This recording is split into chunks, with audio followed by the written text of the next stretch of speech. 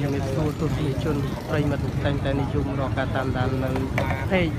ព័ត៌មានកម្ពុជាតនហេតុការណ៍បាទប្រិយមិត្តទស្សនិកជន នៅយប់ថ្ងៃទី19ខែវិច្ឆិកាឆ្នាំ2018នេះលោកអធិការខណ្ឌដូនពេញលោកទៀងច័ន្ទសាដឹកនាំកងកម្លាំងចុះប្រណិប័តការរៀបចំសម្ដាប់ធ្នាប់ជូនប្រជាពលរដ្ឋនៅក្នុង ថ្ងៃនេះតែម្ដងគឺចិត្តដល់ថ្ងៃអុំទុកបាទប្រិយមិត្តជនជនបាទអញ្ចឹងលោកអត្តការគាត់រៀបចំសម្ដាប់ធ្នាប់ជូនបាទជាពលរដ្ឋនៅតាមដងផ្លូវបាទប្រិយមិត្តបាទធ្វើអនុវត្តនៅថ្ងៃពីវិធីបត់អន្ទុកខាងមុខនេះបាទគឺហើយនេះគឺវាហើយសម្រាប់ជាមេបោះនៅថ្ងៃនៅពីមុខដាឡាយរបស់ខ្ញុំខ្ញុំហើយនេះគឺសម្រាប់ជាររងងឡើងតែម្ដងព្រមបាទនេះ បាទហើយមានវត្តមានបាទលោកអធិការឋានរត់វិញគឺលោកទីចង្សាផងដែរបាទ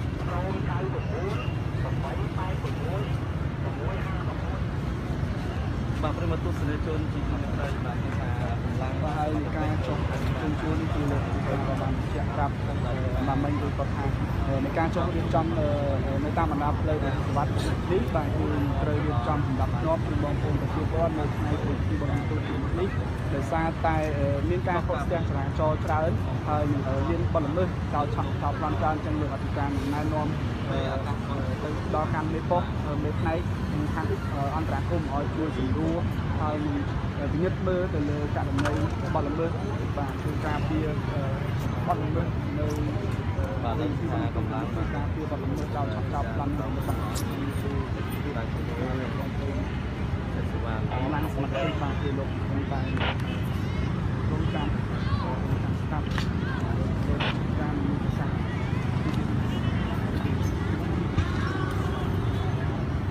បាទយើងឃើញថាទស្សនិកជនបា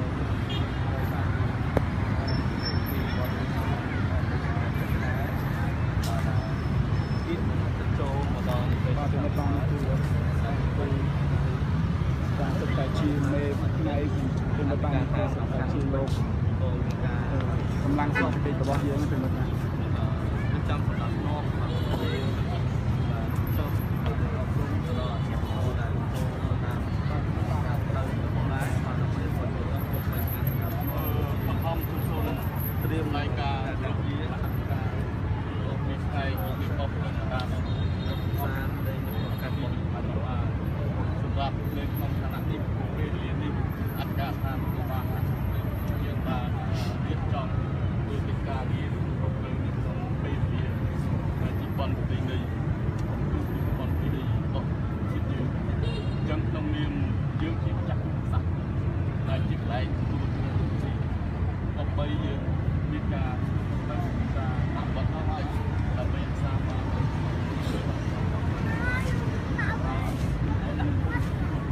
ជួនទៀតនេះបងប្អូនចឹងមានតែជាយើង យើងគោលការណ៍រៀបចំបាត់ចេញពីកិច្ចមុនវត្តមានទីខាងបាទដើម្បីឲ្យស្ថិរភាពនៅក្នុងសង្គមយើងទទួលយកបាននៅបាត់សង្គមណាទទួលយកបាននៅក្នុងសង្គមបង្ការការទប់ស្កាត់បទល្មើសគ្រប់តនប្រភេទក៏ដូចជាបទល្មើសសង្សឹកមិនឲ្យកើតមានឡើងនៅមុនជំនាន់បទអញ្ចឹងពេលថ្ងៃនេះខ្ញុំសូមណែនាំចំពោះការដាក់ចេញដូចក្រោមទីមួយគឺកិច្ចការងារស្ដាប់ធ្នាប់កិច្ចការ ងារស្ដាប់ធ្នាប់ដើម្បីដោះស្រាយស្ថានភាពការខកស្ទះគឺសមត្ថកិច្ចកម្លាំងរបស់គូបាលខណ្ឌរបស់យើងគឺថាចុះទៅរៀបចំលើដងផ្លូវសិវៈបាទចាប់ពីស្ដេចសង្ឃជួនណារហូតមកដល់ខេត្តគឺក្នុងលក្ខខណ្ឌកិច្ចការងារនេះគឺមួយគឺយើងសំខាន់បំផុតគឺត្រង់ចំណុចគុកបរមរាជវាំងដែលជាកន្លែងទីហើយក៏ដូចជាបន្តបន្តទៀត ដើម្បីឲ្យយើងធ្វើការណែនាំទៅលើបណ្ដាអាជីវកម្មដ្ឋានដែលបាននឹងកំពុងធ្វើអាជីវកម្មសូមឲ្យគាត់មានកិច្ចសហការល្អជាមួយនឹងអាជ្ញាធរសមត្ថកិច្ចចិត្តលើលើបញ្ហាការប្រើប្រាស់នយោបាយគ្រប់ប្រភេទបាទជាប់បណ្ដាធ្វើឲ្យការរាំងស្ទះក្នុងការដំណើរការចរាចរណ៍របស់ជាតិរដ្ឋជាតិអន្តរជាតិក្រៅពីនោះក៏យើងសូមឲ្យមានការចូលរួមពីបងប្អូនដែលប្រកបអាជីវកម្មគ្រប់តក់តក់ដូចជា FaceApp បាទហើយនឹង បណ្ដាបងប្អូនទាំងអស់ដែលបានមកតាំងខ្លួនបាទនៅក្នុងមុនពិធីនេះព្រោះយើងឃើញស្ដាប់ហើយថាភាពកកស្ទះបណ្ដាដើមចេញការបាត់បង់តាមផ្លូវហើយណាបងបងបងតែតែជាលក្ខណៈមួយធ្វើឲ្យមានការទាំងស្ទះការស្ទះចរាចរណ៍ដោយសារតែការដាក់ប្រទេស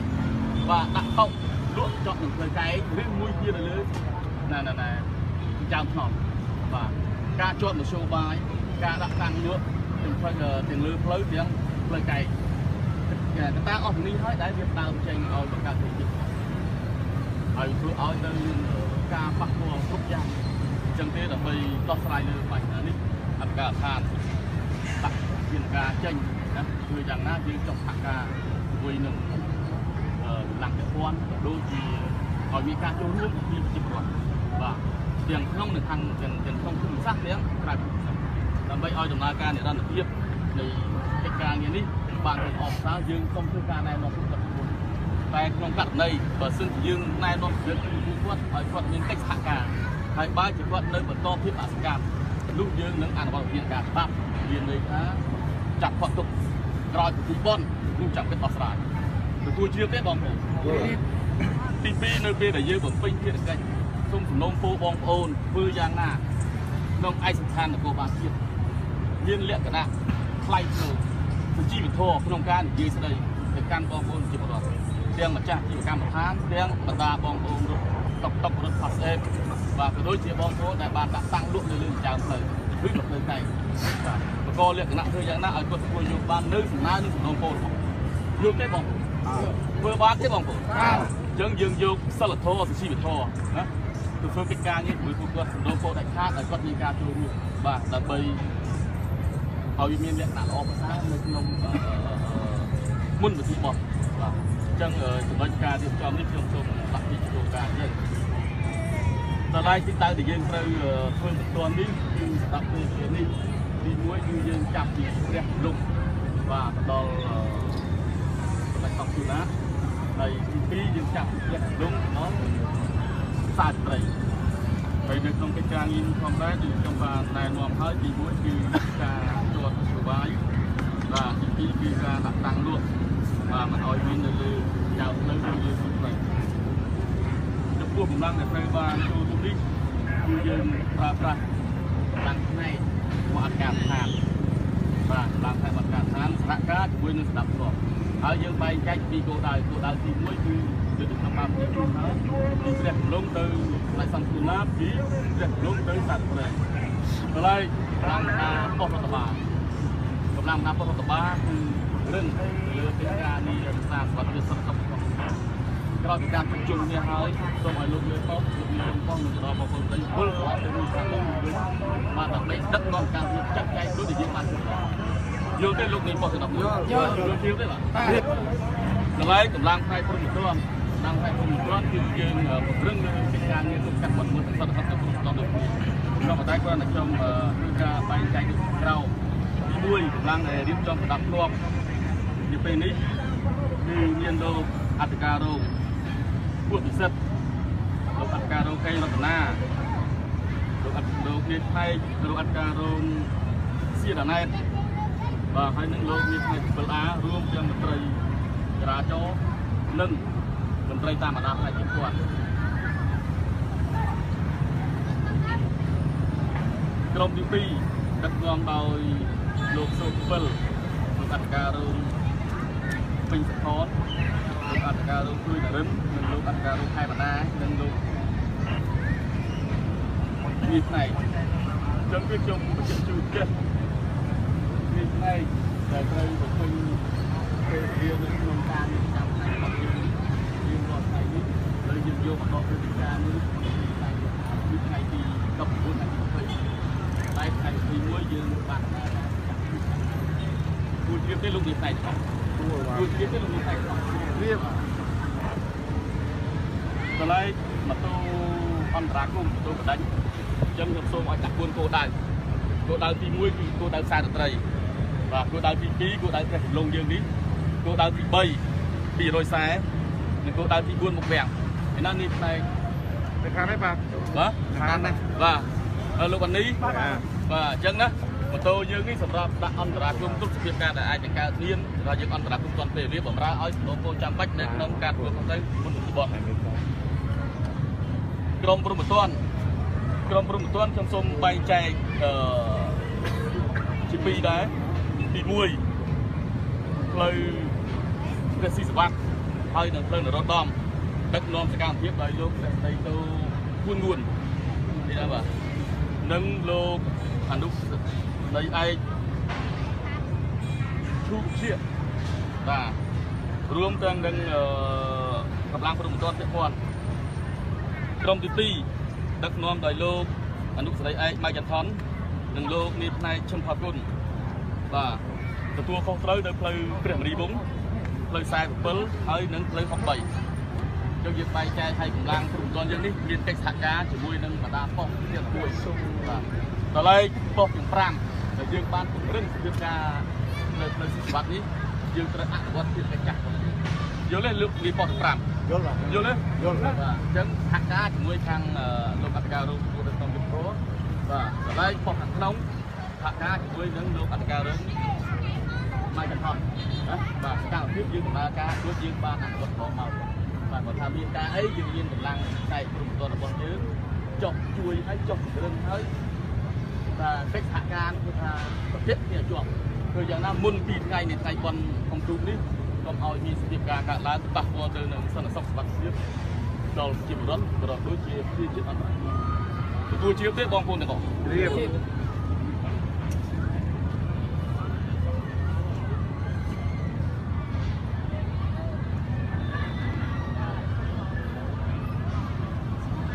ជួបសកម្មភាពនៃការអនុវត្តសូមឲ្យមានរូប ភាពបាទមានការងារដឹកនាំកម្មវិធីរបស់មានការងារដឹកនាំកម្មវិធីចុះយកចំសម្រាប់គ្របបំរើឲ្យនៅនៅនៅមុនមុនតាផ្លូវដែលយើងបានក្រុមទុកក្នុងផែនការនេះឲ្យមានការតបស្នះរួមទាំងបានបិទភាពឲ្យបាត់ទឹកផងទុកសម្រាប់តាដូចជាជាអន្តរជាតិជាពិសេសគឺជារដ្ឋគាត់មកតាមពីបណ្ដាខេត្តឆ្ងាយឆ្ងាយគាត់បានមកតាមហើយគាត់គាត់ចង់ឃើញនៅពីទឹកវាមុនពីបត់អញ្ចឹងវាយើងយើងស្កាត់កិច្ចនោះខាង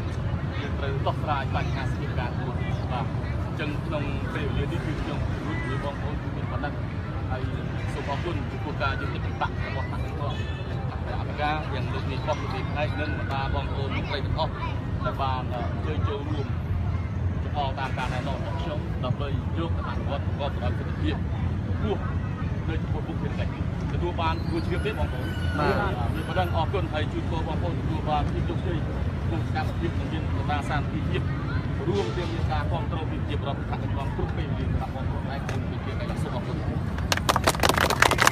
សូមមកប្រងមែនបាទយើងបាច់ខកទៀតណាបាទចាស់ជាឡងនេះប្រាប់ទៅកងកម្លាំង បាទប្រិមិត្តទូតជនឃើញថាលោកអធិការខណ្ឌដូនពេញលោកទៀងច័ន្ទសាបាន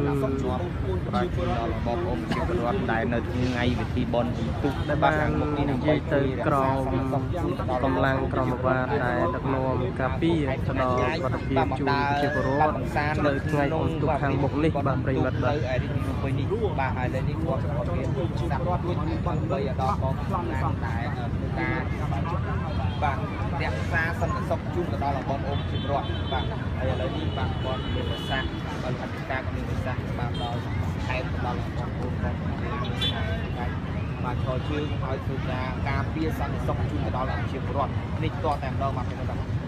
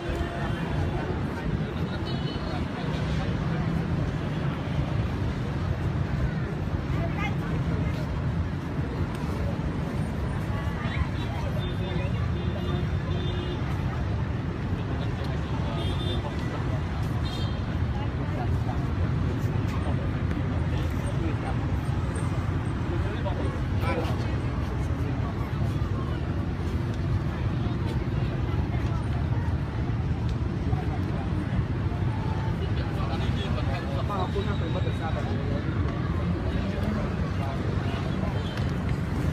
អរគុណណាស់បាទទូទៅជនទីមេត្រីឥឡូវនេះបាទលោកការបានជែកដល់បាទបងប្អូនដាប៉ុកទាំង11ប៉ុកបាទ ធ្វើការបាទចុះធ្វើការបាទចុះធ្វើការ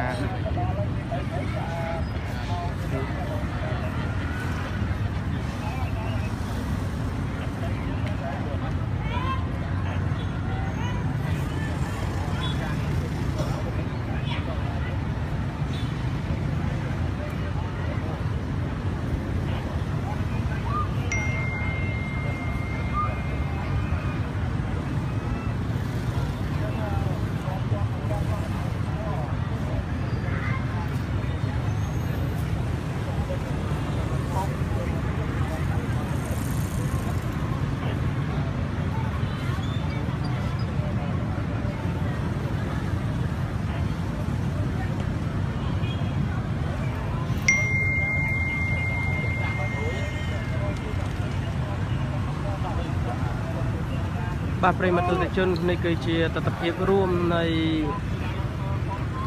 លោកអធិការខណ្ឌដូនពេញលោកទៀងច័ន្ទសាបាទប្រិមត្តបាទគឺគាត់បានដឹកនាំកងកម្លាំងមន្ត្រីក្រមអាវ៉ាតមករៀបចំសម្រាប់ធ្នាប់ក៏ដូចជាណែនាំទៅដល់ជីវករដែលលក់ដូរនៅតាមដងផ្លូវបាទប្រិមត្តបាទគឺជាហេតុដែលធ្វើឲ្យមានការកកស្ទះដល់ប្រជាពលរដ្ឋដើរកំសាន្ត នៅក្នុងថ្ងៃអំទូកនៅខាងមុខយើងនេះបាទប្រិមិត្តបាទគឺលោកគាត់បានពន្យល់ណែនាំទៅដល់ជីវករបាទប្រិមិត្តបាទឥឡូវនេះឃើញថាកិច្ចសម្ភារផ្ដល់ទៅដល់ជួនមន្ត្រីក្រមអាវ៉ាតណែនាំអនុវត្តទៅតាមគោលការណ៍របស់លោកត្រូវបានបែកជួរហើយបាទប្រិមិត្តទុរជនបាទអញ្ចឹងក្រុមការងារយើងខ្ញុំសូមបញ្ចប់ការ live ត្រឹមនេះហើយបាទប្រិមិត្តទុរជនបាទរកពាក្យពេចន៍ និយាយទៅមិនសមរម្យខុសឆ្គងត្រង់ណាក្តីនោះសូមខន្តីអធិស្ឋានដល់យើងខ្ញុំផងបាទសូមអរគុណសូមគោរពលាប្រិមត្តទស្សនិកជនតែងតែយកពេលវេលាដ៏មានតម្លៃមកទស្សនានៃការផ្សាយរបស់ពេកកម្ពុជាតនហេតុការណ៍យើងខ្ញុំនេះបាទសូមអរគុណសូមគោរពលា